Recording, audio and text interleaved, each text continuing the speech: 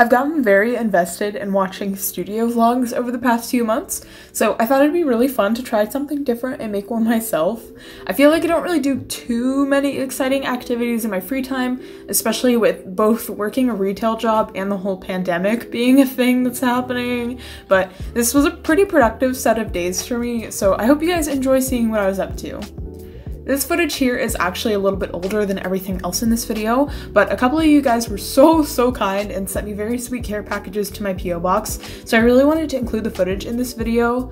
The very first package that I opened was from one of my patrons, Celines, and she really, really spoiled me with so many goodies in this package. Everything was wrapped so professionally and was so beautiful, and she included so many like stickers and just goodies as a whole, so I really wanted to include this. She also has a shop, so I'll link that down below as well as her other social media in case you guys are interested in checking that out. But she sent me a bunch of stickers and she even makes her own sticker sheets and she's been super supportive and sweet over on my Patreon and is like always commenting on stuff and is really sweet interacting with me. So I really appreciate it and I was like so beyond excited when I was opening these because she let me know that she sent something to my PO box and she was just wanting to make sure that it made it safely and Oh my gosh, getting stuff in the mail first and foremost is really fun, but getting stuff in the mail that you don't know what is is so exciting. And I like I cannot believe how talented you guys are in the stuff that you make. And it's it's just so exciting seeing the work that you guys put out because you're always seeing what I'm putting out, art I'm making and the stuff I'm up to, but I never see the other end of it and like the art you guys are making. So it was really cool to get both of these packages and just see everything like you guys are doing and the beautiful, beautiful art that you guys are making. The second package I opened was from Jess, and they also sent me some really cute stickers as well as a gorgeous print of their own artwork. It looks like Jess also has an Etsy shop, but currently there's nothing listed, but I'll absolutely leave a link to both their Instagram and their Etsy shop below. I ended up picking these two packages up at the same time for my P.O. box, and I found it really cool and very coincidental, but these prints that Celines and Jess sent me, they definitely looked like they belonged together. They had a lot of the same theme going on and the same color scheme and like stars and stuff, so I thought these prints looked so, so nice next to each other. And thank you guys again so much for sending these to me. They were something that was so fun to open up and really nice to receive, so thank you to everyone who has sent me stuff to my P.O. box. I really appreciate it.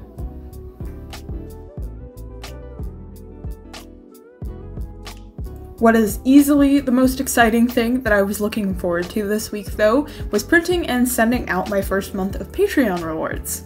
In November, I finally got around to launching a print tier over on my Patreon, and it honestly felt like November was dragging on for ever because I was really wanting to print everything out and get all the Patreon rewards organized, but I definitely wanted to hold off until at least the very, very end of the month so I knew how many prints I needed to print and how many stickers I needed to be making. I ended up making it until the very last day of November actually. I should have waited until the 1st of December to get all that stuff going, but I was really excited to print everything and get everything organized. So, like I said, I decided to start the very last day of November. I had that day off from work, so I figured it was really good time to set aside to get that going. And I had so much fun putting together everything for my Patreon tier. By the very end of my first month, I had 10 patrons for my print tier, so that's an extremely manageable amount, a very nice amount, which I was honestly so surprised about. Like, it's really hard when you're starting something new like that because you really don't know how many people are going to support that or able to support that because it is something that it's not super expensive, but it's it's weird to start because it's always a question of am I going to get no one supporting it? Am I going to get one person supporting it? So for the very first month in my head, I made the goal of like, okay, I really would love to have five patrons on my print tier. I would love to have five print tier patrons. And in the back of my head, I was like, I really want to hit 10. I feel like that would be so cool to hit 10. But my I will not feel bad if I get this amount number was five, but my I really want to hit this number was 10. So I was so excited when I hit 10 patrons for my print tier. So big, big, big, big thank you to the 10 people who pledged to that tier, and also my patrons who are not on that tier, who are on the lower tier and get digital rewards. Thank you guys so much. It's been so fun working on Patreon and just especially doing physical rewards because that was definitely a really big milestone for me. This is essentially the first time that I've been able to, in a way, sell my art as prints and stickers. So, like I said, that's such a huge milestone for me because end goal for me, what I would like to do and what I would like to have as a job is to be a freelance artist and make my own income off of like Patreon and a shop, etc. So that's really what I'm trying to work towards at this point, and I feel like this is such a big step in the right direction for me because if you watched my video that I made about opening my Patreon print tier, like this is something that I've been wanting to do for a really long time, and I've definitely set a lot of roadblocks in my way by myself of just worries of it not working out and coming up with excuses not to do it. And in a way, I'm still doing that when it comes to an online shop.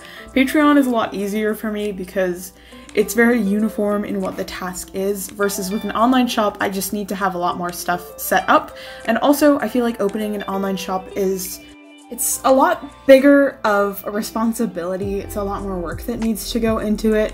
And on top of that in the position I am right now it's a pretty big financial burden in terms of I need to pay for a storefront because as of right now I'm pretty sure I'm gonna open a store on Big Cartel I know Etsy for a lot of people is a really good starting place, but I don't I don't even want to get into Etsy. There's so many fees on Etsy and that's kind of a nightmare for me. So I don't want to deal with that. And plus, I feel like a lot of people go on Etsy because it's such a big marketplace where people can search and find your art that way. But personally for me, I'm definitely focusing more so on my following purchasing my art versus random people looking at my art, which there's nothing wrong with the latter. I just feel like for me personally, it's it's mainly my following that I want to and expect to see traction from. So the appeal of Etsy having a big site where lots of people go to their marketplace just doesn't like appeal to me. So in the not super large amount of time that I've looked into having an online storefront, I'm pretty sure as of the time being that I'm gonna end up going with Big Cartel. If that doesn't work out, I'll probably switch to something else, but I honestly don't think I'll ever open a storefront on Etsy. Not that like I personally have anything against Etsy. I've just seen how many fees they take and like just the fees alone will make me have to raise the price of my product and I feel like that's really stupid. So that's my little tiny rant about Etsy. But uh, as a whole, I would like to have an online storefront sometime next year. My original goal was to open it at the beginning slash middle of this year. I had a lot of like mental momentum in terms of making things work in that direction. And I was like, yeah, I really want to do this. I have plans for it. I want to get started on artworks. I want to get started on this and that. And then the pandemic happened really early in the year. And then it just didn't happen, which I feel like needs no extra explanation. After I finished putting everything together for November's Patreon rewards, I realized I should really get on top of taking pictures of December's rewards to post on social media, so I had to really quickly go ahead and print out a sheet of the bonus sticker that I'm including in December's rewards. For November's print tier, I gave everyone a bonus sticker to celebrate the launch of my print tier, and I'm doing another bonus sticker this month as well. The two bonus stickers are going to be Patreon exclusive, so they won't be available to purchase whenever I do launch a storefront, but I think that's really fun because the two bonus stickers are the artworks of my current tiers available on Patreon, which are just little cat parfaits. Uh, one is based off of my cat Aslan, and the other one is based off of my cat Fiora. So the people who are pledged for both November and December will kind of have like a little matching set going on, which I thought was really fun. I got a Cricut for making stickers a couple months ago after I very, very quickly learned that cutting stickers by hand was just not doing it for me, and it's been such a nice tool to use. I've seen a lot of other people have insane amounts of issues working with Cricuts, but my entire Cricut experience has been fairly smooth, honestly. I didn't have much troubles with it, and for the most part, it's been working really well for me, so I'm very happy to have it. It is such a nice tool.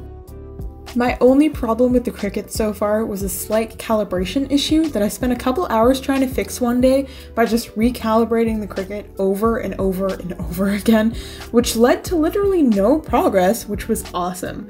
But then a couple weeks later, I recalibrated it once and it fixed it perfectly and now it cuts like right on target for me. So I really don't know what happened there, but it's cutting perfectly for me, so that's all that matters.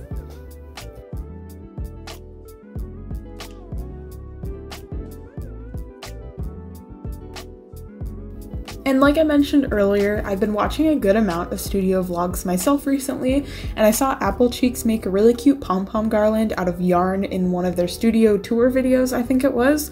So I figured it would be a really fun activity that had a lot of potential to add some cute decor to my own art space, so I bought some cheap yarn and threw one together real quick. It was a really nice activity to do while I had something going on in the background. It was a pretty mindless task, so I just set up my iPad and streamed Hulu and made a bunch of pom-poms with the yarn I had.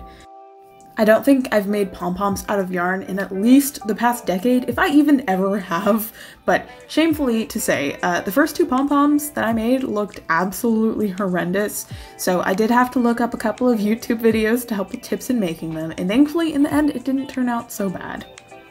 And while the pom pom garland was really fun to put together, like I said, it was a mindless task, so I was just able to watch TV while I did it pretty much. I really don't know if I like it. I hung it up above my Cricut and where I have like my IKEA pegboard, but I don't know if I like it. We have really high ceilings in my apartment, so I'm debating on moving it up, but the command strips that I used to hang it do not hold the pom-pom garland, and I'm hesitant to put holes in the wall for it because if I don't like it, because currently I don't like the pom-pom garland, I'm gonna take it down and I'm gonna have holes in the wall that I just won't put anything, I don't know. I'm very, I'm I'm very torn about the pom-pom garland, but it was fun. It was a very nice activity, very relaxing activity, but will it stay up? I don't know.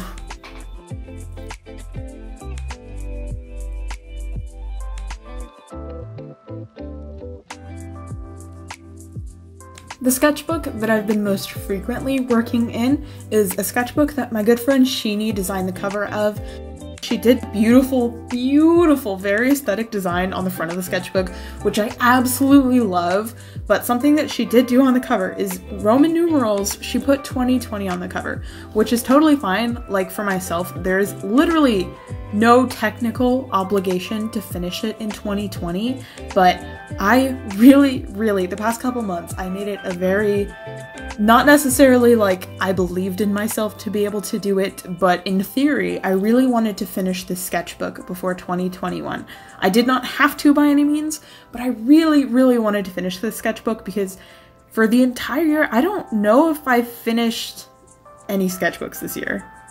Okay, that's a lie, I just looked it up. I finished a sketchbook in March, but that was the last time I finished a sketchbook, and normally, like, it takes me roughly six months to do a sketchbook, so this one's a little bit overdue, but with pandemic being a thing, I didn't draw for a lot of the past couple months. Like, my art production, it, it took a nosedive, but we we're going uphill right now, which is very nice. I hope that continues. But I've also been working in a lot of sketchbooks at one time, which is something that I have not done, like, ever, I don't think. For the most part, I think in my entire lifetime of owning sketchbooks, I have primarily stuck to using just one sketchbook at a time, so this is definitely something that is very abnormal for my artistic journey, but it's been really nice using multiple sketchbooks. The big downside of that is it's taking me a lot longer to independently finish one sketchbook, but I was fairly close to this one. I kind of noticed it in, I think it was probably like September or October. I had like 20, maybe 30 pages spread, something like that left, and I was like, ooh, based off of how fast I've been putting out art, this is not happening. So I've been kind of trying to primarily work in this sketchbook. It's a really big Strathmore one. Uh, the size was kind of bothering me, so I was trying to fluctuate to using smaller ones. But then I realized, ooh, it'd be really nice to finish this sketchbook within 2020 because it says 2020 on the cover.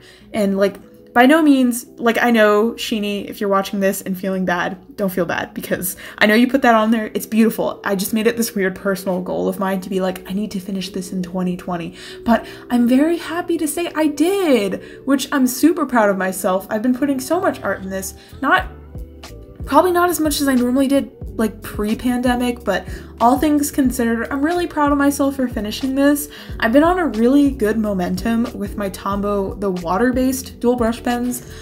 I know Tombow now has like their alcohol-based markers, and I've gotten a couple of those in Art Snacks, but if you ever see me using the Tombow brush pens, I'm probably using the water-based ones because I love them so much. They're such, such nice pens. They layer really well, they're really pretty, They're kind of expensive once you start buying a bunch of them, but I have a really good collection of them and I love using them. I definitely go through phases of using them where I'll go crazy for like a month or two and then I won't touch them for a while, but right now is one of my phases and I'm really enjoying it because I really like the look that they give when it's like a finished piece. It's still very sketchy in the terms like of how I use them. I don't make like super nice finished pieces. Also, oh my gosh, if you hear crashing noises in the background, that's my cat playing with her toys. So this is just how it is. But I've been really enjoying using these pens. I have filled so many spreads with these pens in the past like month or two, and overall, just I love them. I love them so, so much. They really carried me through finishing this sketchbook, and like I said, I'm really happy to say I finished another sketchbook finally, so sketchbook tour will come eventually. Don't know when, but sketchbook tour will be coming eventually. Studio vlogs are definitely very different from my normal stuff for me, but I actually had so much fun making this video. It was both more work and less work than my other videos because the editing and the voiceover themselves have been very casual compared to my normal stuff. But then as far as footage goes, it definitely took a lot longer to edit everything just because there was a lot more footage. But it was also really nice including so much real-time footage because I do do little bits here and there in my art videos of real-time footage, but I've kind of also wanted to do an entire art video of real-time footage just spliced really tight. So it's not going to be like an hour and a half long it's still going to be like 10 minutes long just little clips here and there of real-time footage. So it was kind of nice to play around with a similar concept in this video. And like I said I did have a lot of fun making this video. So if you guys would like to see more studio vlogs in the future let me know.